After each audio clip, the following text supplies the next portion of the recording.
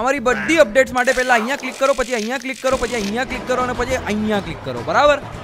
Enjoy Alright, so welcome to another episode of Panchayat Podcast, and today we have with us Karan Jani, જે LIGO experiment અને obviously he is Shreyas સ્કૂલના alumni હા.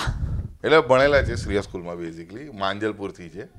But he is obviously making Gujarat Baroda proud કારણ કે he is part of an amazing team જે અત્યારે લાઈગો experiment છે જે આપણા બ્રહ્માંડમાં અલગ અલગ જગ્યાએ બ્લેક હોલ્સ છે એનું રિસર્ચ થાય છે. એમ આઈ રાઈટ યસ હાશ આટલું તો વિજ્ઞાન આવડે છે મને.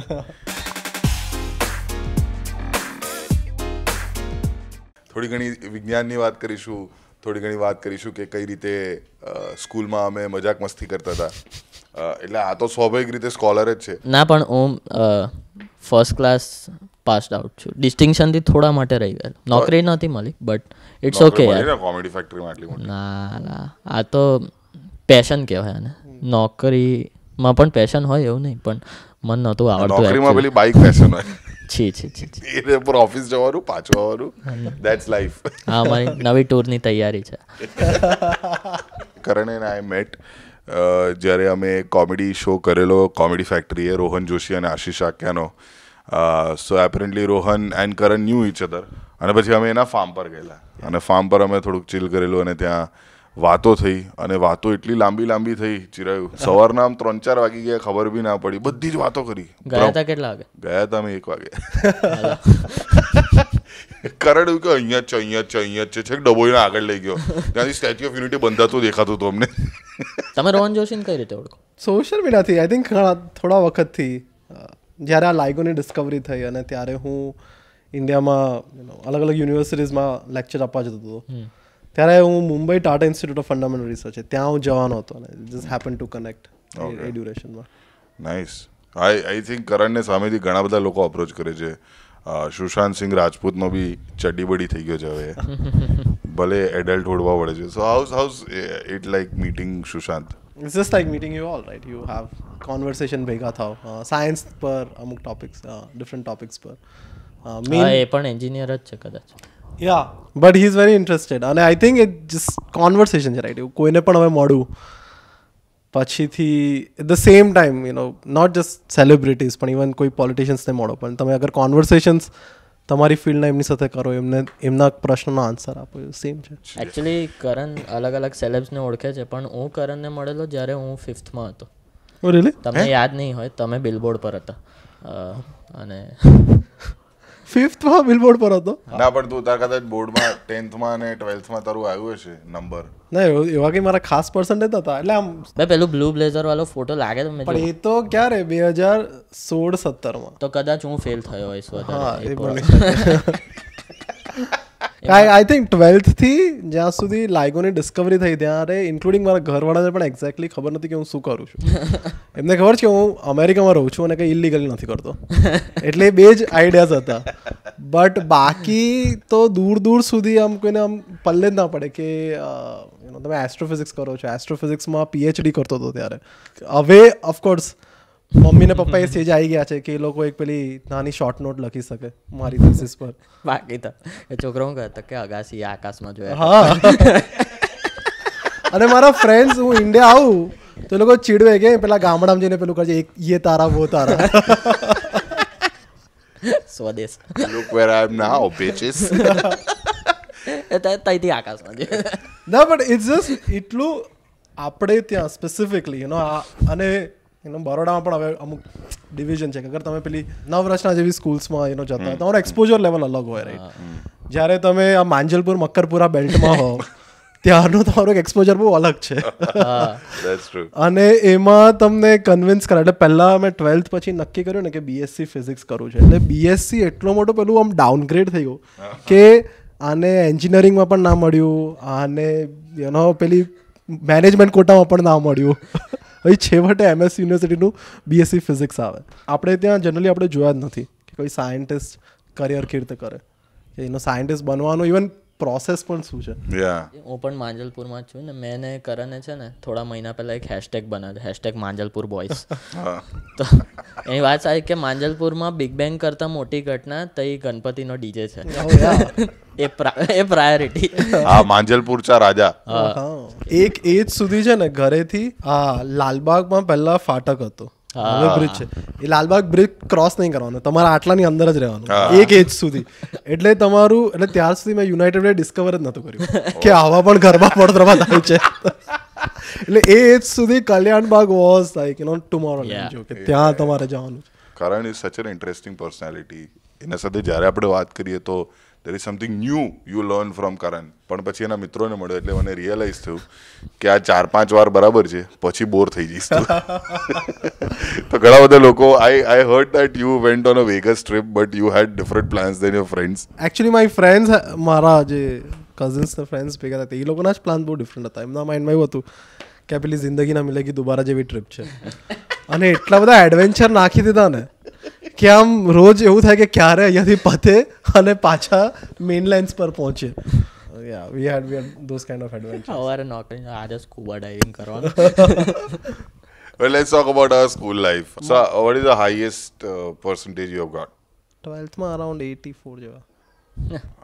ફોર્ટી સેવન ના પણ એ એ અગત્ય નથી. તમે આપણે ત્યાં કેવું છે કે એક એવું છે કે નાઇન્ટીની ઉપર આવ્યા હા. દેટ ઇઝ અ ક્લાસ અરે એ તો પછીથી- એલિટ છે. હા પછીથી એનાથી નીચે ઓલ ધ વે પચાસ ટકા સુધીનો સેમ જ માર્જિન છે. અને પછી તું છે પછીથી થર્ડ આવે હા. એટલે તું થર્ડ ક્લાસ છે ના પણ હું ટ્વેલ્થમાં ટેન્થમાં હું એટી પર્સન્ટ લાવેલો પણ મેં જોયું કે ટેન્થના બોર્ડ પછી કંઈ કામ નહીં લાગ્યું તો હું લેવા મહેનત કરું. એટલે હું ટ્વેલ્થમાં અને મને તો બોર્ડનું રિઝલ્ટ આમ લગભગ યાદ જ નથી કારણ કે બોર્ડનું રિઝલ્ટ બહુ બહુ તો છ મહિના યાદ રહે. એ લગનના ફોટોઝ જેવું છે રાઈટ આઈ મીન થોડા વખત તમે એક્સેપ્ટ કે લગ્નના ફોટોઝ તમે હજી ઘરમાં લગાવો છો. બોર્ડનું રિઝલ્ટ તો હવે ક્યાં પડ્યું હશે? કઈ પસ્તીમાં હશે? હા અને હવે એવું થઈ ગયું છે હવે બોર્ડ જેટલું જ ઇમ્પોર્ટન્સ આઈ થિંક ઇન્સ્ટાગ્રામની પોસ્ટનું થઈ ગયું છે. મને પણ એટી પર્સન્ટ આવેલા સેકન્ડ સ્ટાન્ડર્ડમાં એટલે મારા હાઈએસ્ટ પર્સન્ટેજ આઈ થિંક મને ટ્વેલ્થમાં જ આવેલા seventy two point five so yeah we were અગર કરણ કે છે તો એ પણ એવરેજ સ્ટુડન્ટ છે તો એવરેજ સ્ટુડન્ટ છે. એ પણ તમને એટી ફોર પર્સન્ટ એવરેજ લાગે છે. એટલે એટી ફોરમાં એ પહેલું એવું વર્ષ હતું ને કે જ્યારે ખબર છે બધાના જ આમ એટી આવ્યા હોય. તમે કોઈને પણ પૂછો આજ આજુબાજુ કેટલા આયા? તારા પણ એટી આયા? અરે તું તો પણ છેલ્લે છેલ્લે વાંચતો હતો. એટલે એ duration I was pretty clear day વનથી કે મને જેઈ તો આઈઆઈટી જેઈ તો ક્લિયર થવાનું નથી. એટલે એક્ઝામ આપવાનો અર્થ જ નથી. ત્યારે એઆઈ ટ્રિપલ નો એરા હતો એટલે એ પણ એક્ઝામ આપવાનો અર્થ નહોતો. મેં આપેલ હું તો કોઈ જ એન્ટ્રન્સ નથી મેં તો as a on principal ground અમુક વસ્તુ હવે હું જ્યાં ફેમિલીથી આવું છું ને ત્યાં ત્યાં થોડુંક આવા ઓવર આઈડિયલિસ્ટ અપ્રોચીસ બહુ અર્લી બિલ્ટ ઓન થઈ ગયા હતા. તો મેં નક્કી કર્યું કે બોર્ડ એક્ઝામ્સમાં કોઈ પણ પોયમ લખવાની નહીં. એટલે ટેન્થમાં પણ ટેન્થમાં તો પાછું બે બે સબ્જેક્ટ રાઈટ ઇંગ્લિશમાં પણ આવે હિન્દીમાં પણ આવે અને પછી પેલા સંસ્કૃતમાં પણ પેલી ગોખી લગાવે બીકોઝ ટીચરે એવું કીધું કે એટલે લાઈક શું કરવા ગોખીએ? યુ નો લાઈક વાય મને કંઈ પણ ગોખવું પડે? એટલે મને આજ દિન સુધી બાય ધ વે ફિઝિક્સમાં પીએચડી થઈ ગયા પછી પણ મને ટેબલ્સ બહુ બહુ તો આઠ સુધી આવડે. મને ટેબલ્સ ક્યારે ગોખ્યા નથી? બેસ્ટ ઇલેવન ટેનનો ટેબલ આવડે એટલે સુધી. That is the maximum I can do હું ક્યારે પણ કેલ્ક્યુલેટર વાપરતો હતો આમ હોય. કોઈ પણ સમ હું ત્યાં સુધી જ સોલ્વ કરું જ્યાં સુધી મને ફર્ધર કેલ્ક્યુલેશન ના કરવાનું હોય. બિકોઝ મને ખબર હતી કે કોમ્પ્યુટર્સ તો છે જ ઘરે. એક એરા તો આવશે જ જ્યારે કમ્પ્યુટર્સ ક્લાસરૂમમાં આવી જવાનું બરાબર વાત છે. લોજિક બાપ દાદા મહેનત કરી રહ્યા ને કે ના ના ટુ ટુ જા. મેં કીધું ના કેલ્ક્યુલેટર જ કરશે. એ વાત બરાબર. યા અને ક્યારે ઇવન હું મેં ક્યારે સ્ક્વેર સ્ક્વેર રૂટ્સ પણ ગોખ્યા નથી. તમે જેટલું ગોખો છો ને એટલું તમે મેકશ્યોર કરો છો કે તમે મેથ્સ અને સાયન્સ ક્યારે જ નહીં ભણી શકો. જ્યાં સુધી તમારી ઇન્ટ્યુશન બિલ્ડ ન થાય એટલે intuition is is as much as like writing તમારી પોતાની poetry the gut feeling yeah it it has to come from within એટલે ત્યારે બોર્ડમાં એવું હતું કે પોયમ ગોખવાનું નહીં કારણ કે ગોખેલી વસ્તુઓ રિપીટ કરવાનું દેટ ઇઝ લાઈક એટલે મારા કોઈ ટીચરે કીધું હતું કે આવું તો સર્કસના એનિમલ્સ કરે.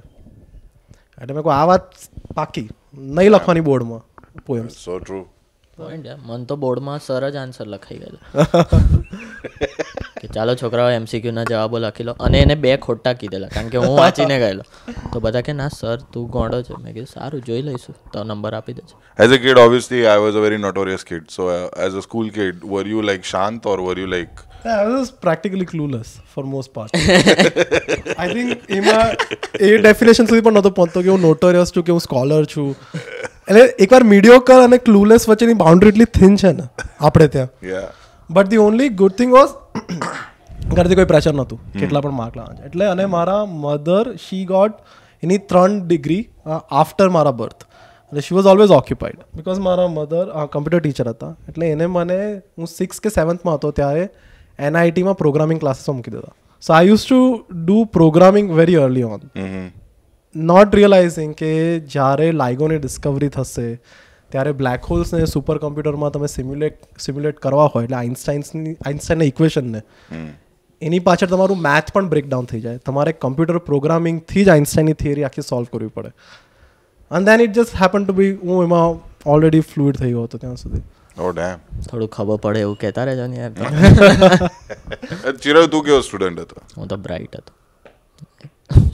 પણ એટલે મારું કેવું હતું હું વિદ્યાલયમાં ભણેલો. તો તમે કેટલાય બ્રાઇટ હો પાછળ ગટર હતી. એક છોકરો ગટરમાં પડી ગયેલો. પછી? બહાર આવ્યા પછી હું. એટલે મરી જવાય એવી નહોતી ખાલી ગંદા એવી ગટર હતી.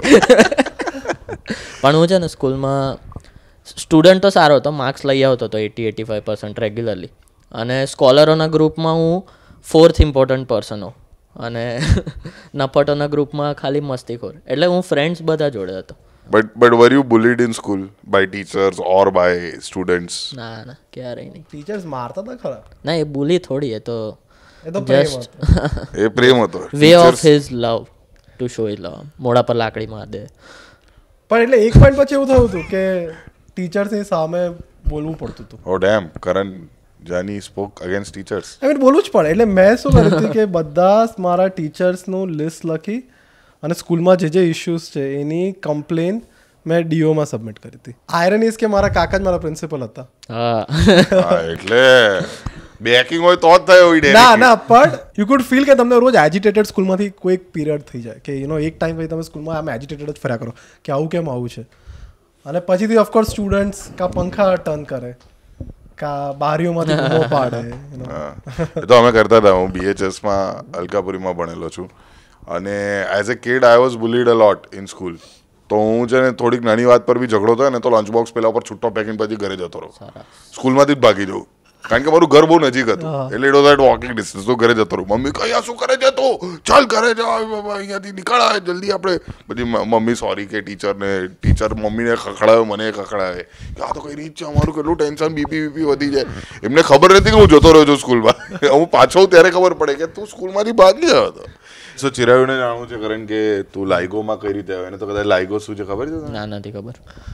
So LIGO વર્લ્ડનો most one of the biggest scientific experiments છે વર્લ્ડનો one of the most expensive experiments ક્યારે પણ આ પૃથ્વી પર બન્યો અને પૃથ્વીનો સૌથી સેન્સિટિવ ઇન્સ્ટ્રુમેન્ટ આ છેલ્લા ત્રીસ ચાલીસ વર્ષથી ઘણા જનરેશન્સ ઓફ સાયન્ટિસ્ટ આને ડેવલપ કરતા હતા અને હું એના જસ્ટ રિસન્ટ જનરેશન ઓફ સાયન્ટિસ્ટમાં છું મારી પીએચડી થિસિસનો આ પાર્ટ હતો એમાં એવું હતું કે જ્યારે હું એસ્ટ્રોફિઝિક્સ સ્ટાર્ટ કર્યું ત્યારે એસ્ટ્રોફિઝિક્સમાં એવું હતું જે one of the biggest question જે છેલ્લા સો વર્ષથી સોલ્વ નહોતો થયો વોઝ કે આઇન્સ્ટાઈને જે થિયરી લખી, એ થિયરી એકચ્યુઅલી સાચી છે કે નહીં? એને આપણે માન્ય, માનતા હતા. એનો કોમન નોલેજમાં એવું છે કે આઇન્સ્ટાઈને બધું ઇક્વલ્સ ટુ એમસી સ્કવેર લખ્યું, સાચું છે. That is not his only theory એનાથી પણ એને વધારે ગ્રાન્ડ વર્ક કર્યા હતા. એટલે વન ઓફ ધ થિયરીનો ટેસ્ટ હતો કે બ્લેક હોલ જેવી વસ્તુ હોય કે નહીં? બ્રહ્માંડમાં. સાચે બ્લેક હોલ જેવી વસ્તુ. એટલે મારી થીસીસ એ હતી, એ બ્લેક હોલને શોધવું લાઇગો એક્સપેરિમેન્ટ સાથે. જે મારી પીએચડી થીસીસ થઈ અને જ્યારે સ્ટાર્ટ કરી ત્યારે ઓલરેડી એક્સપેરિમેન્ટ છેલ્લા પંદર વર્ષથી ચાલતો હતો અને કશું નહોતું શોધાયું. એટલે ધી ક્લિયર આઈડિયા વોઝ કે થોડીક મેથડ્સ લખશું, ભવિષ્યમાં કદાચ ઇમ્પ્રૂવ થાય. બટ અમને કોઈને એકચ્યુઅલી એવું લગભગ સપને કોઈને ખ્યાલ નહોતું કે આવું થશે. અને ઇટ વર્કડ આઉટ એક્ઝેક્ટલી જે રીતે મારી પીએચડી થીસીસમાં હતું કે બ્રહ્માંડમાંથી સિગ્નલ આવશે લાઇગો એક્સપેરિમેન્ટ પર આવશે સિગ્નલ આવું દેખાશે અને પછી તમે આઇન્સ્ટાઈનની થિયરી સાથે સિગ્નલને મેચ કરશો તો અગર બ્લેક હોલ બ્રહ્માંડમાં આઇન્સ્ટાઈને કીધા તો એવા હોય તો signal at least ninety nine percent તો મેચ થશે જ. અને exactly it played out that way A signal આવ્યું હતું ઓલમોસ્ટ દોઢસો કરોડ વર્ષ પહેલાં. બ્રહ્માંડની ઉંમર છે આપણે જનરલી એવું જ્યારે તારાઓ જોતા હોઈએ છીએ ત્યારે આ બધું પરમેનન્ટ છે. પણ બધા તારાઓ મરી જાય. તારા જ્યારે મરી જાય ત્યારે જ્યારે મોટા તારા મરે ત્યારે બ્લેક હોલ તરીકે મરે. અને એ બ્લેક હોલ જ્યારે બીજા બ્લેક હોલ સાથે ભટકાય ત્યારે એ બ્રહ્માંડમાં એટલી બધી એનર્જી છૂટે કે તમે આખા બ્રહ્માંડના દરેક તારા ભેગા કરો તો પણ એટલી એનર્જી ન હોય. જેટલી બે બ્લેક હોલ અથડે એનાથી નીકળે.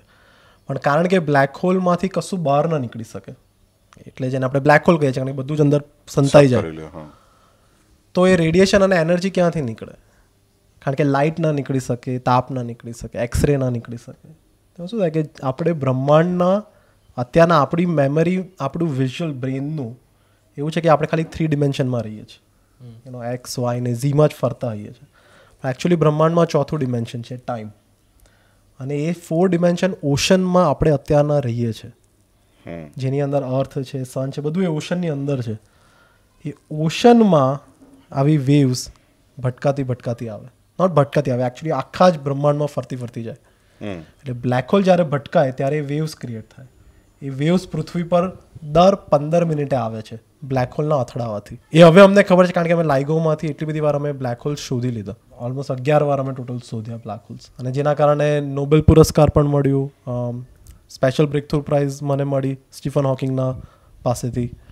અને પછી બીજા ફોબ્સને આ તે પ્રાઇમ મિનિસ્ટરને મળવું. પ્રાઇમ મિનિસ્ટરને ખાસ એટલે મળ્યા હતા કારણ કે એ સેમ લાઇગો એક્સપેરિમેન્ટ આપણે ઇન્ડિયામાં બનાવીએ છીએ. ત્યારે પ્રાઇમ મિનિસ્ટરે એ વોશિંગ્ટન ડીસી આવ્યા હતા. ત્યારે એમને અમારી જસ્ટ ડિસ્કવરી થઈ હતી અનાઉન્સમેન્ટ થયું હતું. અને ત્યારે એમને મને અમારા ટીમના ડિરેક્ટરને અને બીજા સાયન્ટિસ્ટને મળવા બોલાવ્યા હતા. અને ત્યારે એમને પૂછ્યું કે એનો કે કેમ અગર ઇન્ડિયા અને પહેલાંથી પ્લાન હતો જ કે એનો કદાચ ઇન્ડિયામાં આવું ઇન્ટરેસ્ટ થાય આવું એક્સપેરિમેન્ટ બનાવવાનું. પણ વર્લ્ડ કમ્યુનિટી નથી ખબર કે ઇન્ડિયાની રેડીનેસ છે. આટલું બધું ફંડિંગ માટે આટલા બધા રિસોર્સિસ માટે. એટલે પછી પ્રાઇમ મિનિસ્ટરે પૂછ્યું કે એનો કે કેમ કરવું જોઈએ ઇન્ડિયાએ એમ જસ્ટ કેઝ્યુઅલ કોન્વર્સેશન આવી રીતે જ. થોડુંક વધારે સિરિયસ ફીલ થાય. એમની સાથે બેઠા હોય પણ એટલે આ જ આવી જ આ આ જ ડિસ્ટન્સથી અને પછી અમુક પોઈન્ટ્સ મેં કીધા કે એનો કે કેમ એજ્યુકેશન તરીકે બહુ અગત્ય છે. જે રીતે દર વાર આપણે ઈસરો મંગલયાન પર ગયું. અને જ્યારે તમે આજે ટુ થાઉઝન્ડ રૂપીઝ પર એની નોટ જુઓ છો ઇટ સેઝ અ લોટ કે નો કે એઝ અ ડેવલપિંગ કન્ટ્રી તો આપણી આજુબાજુ બધી કેટલી બધી કન્ટ્રીઝને ઇન્ડિપેન્ડન્સ મળ્યું. અને એ લોકોની આજે દશા જો અને આપણી આજે જો સાયન્સમાં વેલ્યુ કોઈ એના જેવું છે. અને લાઇગોની ડિસ્કવરી હિસ્ટ્રીમાં ઇઝ એઝ બિગ એઝ કે મૂન પર આપણે લેન્ડ થયા. This is the biggest scientific breakthrough. એટલે બ્રહ્માંડનું આખું જોવાનું બ્રહ્માંડમાં ખાલી બે ટકા જ વસ્તુમાંથી લાઇટ આવે છે. લાઇટ એક્સરે ઇન્ફ્રારેડ યુવી કાંઈ પણ કહો, એ બ્રહ્માંડમાં ખાલી બે ટકા જ વસ્તુ ખાડી શકે, કારણ કે આખું બ્રહ્માંડ ડાર્ક એનર્જી અને ડાર્ક મેટરથી બન્યું છે. એટલે આપણે બધા તો આમ આમ પેલા છૂટક પેલા કણ વધી ગયા ને એક્સ્ટ્રા ક્લે સ્ટાર્સ ગેલેક્સી તો એ ક્લે છે. કંઈ ખાસ આપણી વેલ્યુ નથી બ્રહ્માંડમાં. ડાર્ક એનર્જી ડાર્ક મેટરની છે. અને ગ્રેવિટેશનલ વેવ્સ એ જે ઓશન છે, એ ઓશનમાં બધી ઇન્ફોર્મેશન છે. એટલે તમે સમજો કે આખું જીવન અત્યારના આપણે બ્લાઇન્ડ હતા, એક રીતે. તો બેડ એનોલોજી કારણ કે એવું બ્લાઇન્ડ એવું ફીલ ના થવું જોઈએ. પણ સમજો કે તમે બ્લાઇન્ડ હો. હજારો વર્ષથી. અને સડનલી પહેલી આંખ ખુલી હોય, ત્યારે તમે કેટલું જોઈ શકો? અત્યારના ટુ થાઉઝન્ડ સિક્સટીન અમારી ડિસ્કવરી જે હતી, એ એક્ઝેક્ટલી એ ચેપ્ટર હતો. અને એમાં હવે હું કદાચ જોગાનું જોગ થયો કે હું એકમાત્ર ગુજરાતી સાયન્ટિસ્ટ યુ આ પ્રોસેસમાં ઘણા વર્ષોથી ઇન્વોલ્વ હતો. So that is like on discovery અને એ ડિસ્કવરીની અનાઉન્સમેન્ટ ફેબ્રુઆરી અગિયારે કરી હતી એટલે મારા મેરેજની ડેટ હતી. ગજબ તમે. કામ તો તમે જ કરો છો યાર ખરેખર. કેટલું નાનું ફીલ થાય છે નહીં ચિરાયું અત્યારે. ના પણ મારા બી આમ સાત લાખ વ્યૂ છે બાગબાનવાલા વિડીયોના અરે that is a lot more right એટલે મારા ટેટ ટોકના વ્યૂઝ નહોતા. કરણે જ્યારે આખું એક્સપ્લેન કર્યું ને આમ સ્કૂલ જેવું ફીલ થઈ ગયું કે પહેલાં એક કંઈક એકચ્યુઅલ કોઈ એવા સ્પીકર આયા જેમને કંઈક આવડે છે. અને આમ એટલું આમ ઇન્ટરેસ્ટ જેવું સાંભળો સાંભળતો મજા આવી ગઈ. Like about uh, that he explains it in such a way that you it's like hypnotism અને તમને સમજ પડે. લાઈક હા. શું કે છે તમને સમજ પડે એવા શબ્દો ચૂઝ કરવાનો. because ટીચર બનવાનું વિચાર્યું I think you might have thought of becoming a mentor eventually ના ના દેટ ઇઝ વોટ અત્યારે અમે કરીએ રાઈટ સો જનરલી સાયન્ટિસ્ટ થવાનો જે પ્રોસેસ છે ને કે આપણે બીએસસી એમએસસી પીએચડી તો લગભગ બધા જ કરીએ. બિગ બેંગ થિયરીમાં પેલો જોક છે.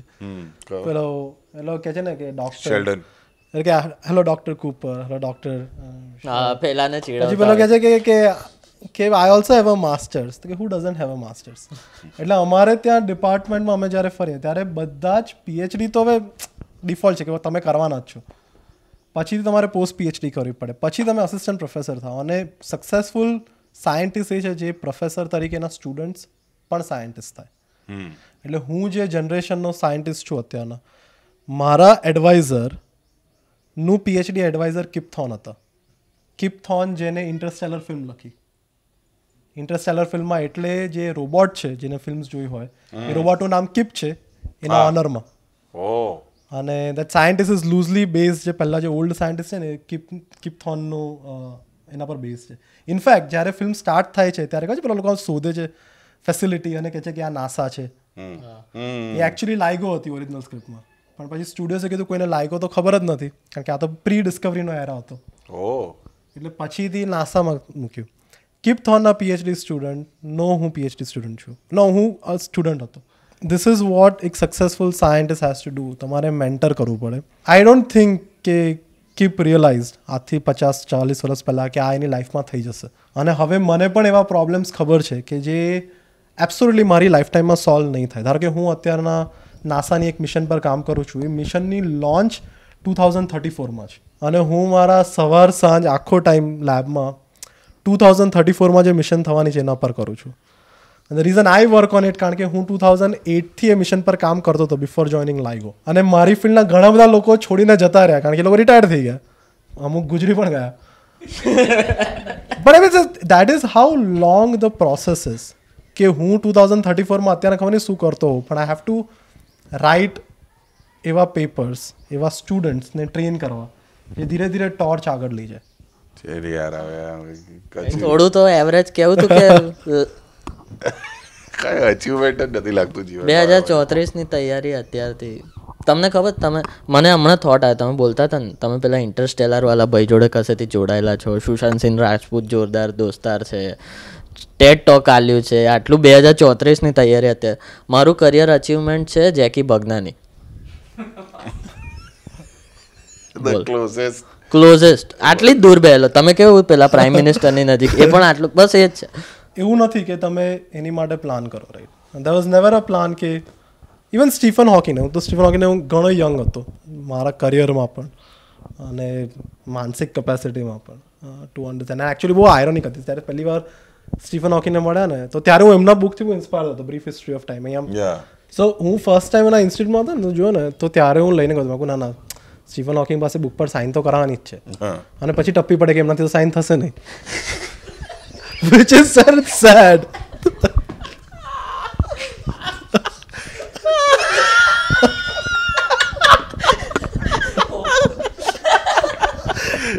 dark matter બાકીના નાઇન્ટી એટ પર્સન્ટેજ જોક આવ્યા છે ફરીને. બ્રહ્માંડ નો જોક છે ચિરાગ મારા ખ્યાલથી હવે આપણે જ્યારે પણ મૂવી બનાવી which is based on galaxies and space and time in space તો આપણે કરણને ડેફિનેટલી વિલ અપ્રોચ બીકોઝ હા I think you understand more about the universe than about human મને બીંગ્સ તો હવે શ્યોર નહીં કે હું એવું કંઈ બનાવીશ કે નહીં But you know, one of the very surprise, I mean, coincidental thing, હું એથ મારું એકવાર કમ્પ્યુટર પ્રોગ્રામિંગ પતી ગયું જે સી પ્લસના કોર્સ લેવાના હવે ત્યારથી તો એઇટ સ્ટેન્ડમાં હતો હવે શું કરો બપોર પડે તો પછી મેં અરીના મલ્ટીમીડિયા જોઈન કર્યું ત્યારે હું અને વિનીત વિનીત કનોજિયા અમે બંને સાથે. અરે તમે તમે વિનીતભાઈ જોડે કામ કરો. હા એટલે હું? હા એટલે હું વિનીત અમે એટલે વિનીત ત્યારે બંનેને છે ને મેટ્રિક્સની બહુ ભારે અસર હતી. કે મેટ્રિક્સ એટલે મારા માઇન્ડ એવું કે આ પ્રોગ્રામિંગ તો ઠીક છે પણ મને મેટ્રિક્સ જેવા પિક્ચર જ બનાવે છે. એટલે પછી હું વિનિતને મળ્યો જે અને અમારા બંને વચ્ચે આમ યુ નો એને ત્યારે એક આવું એલિયનની ફિલ્મ બનાવી હતી. હા.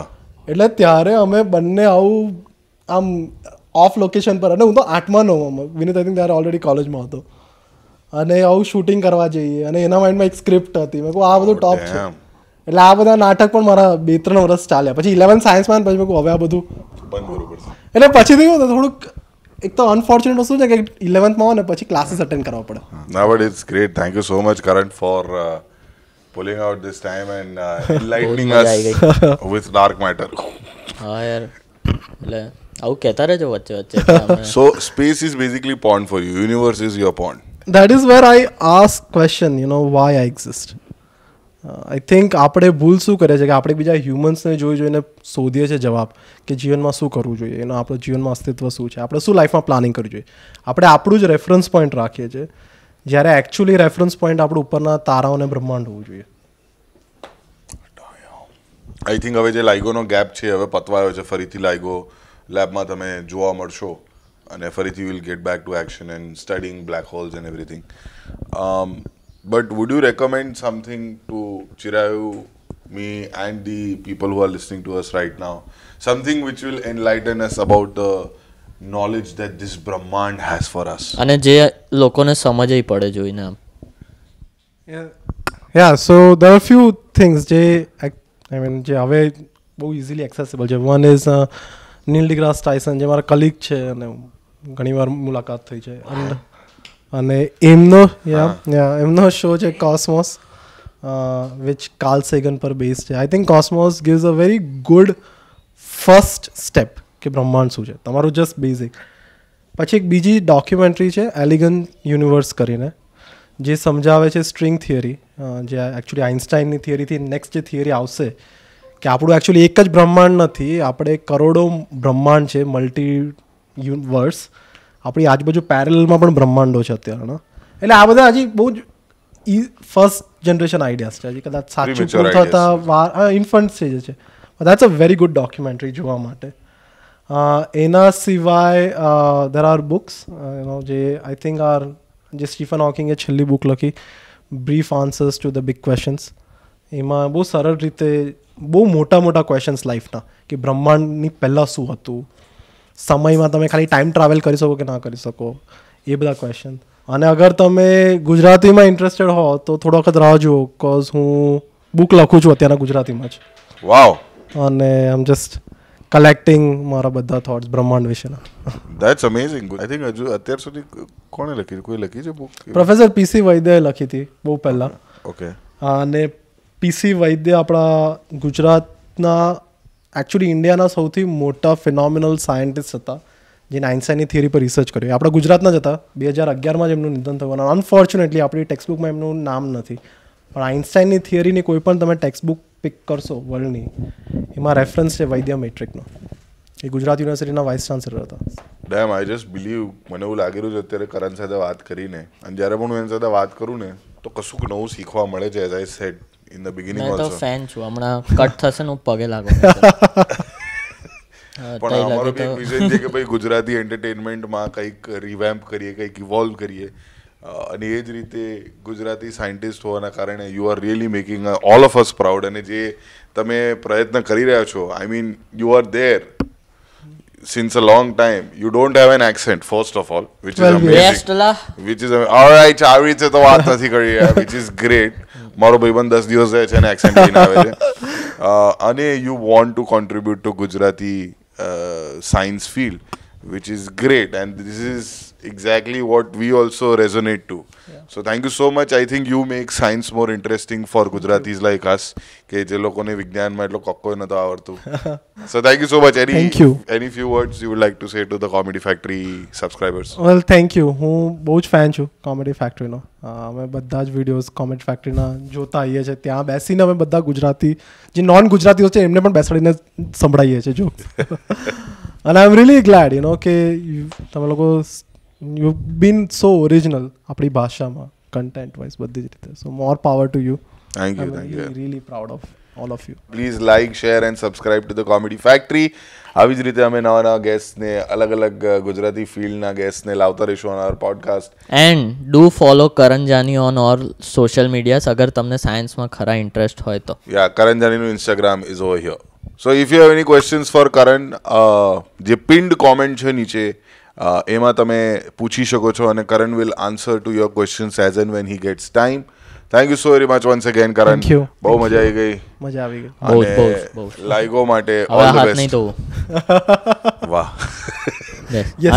જેન્યુઇન સવાલો પૂછજો કમેન્ટ્સમાં બકચોદ ભર્યા સવાલો નહીં જેન્યુઇન સવાલો નહીં તો ના કરતા પ્લીઝ હું ઘરે આવીને મારીશ.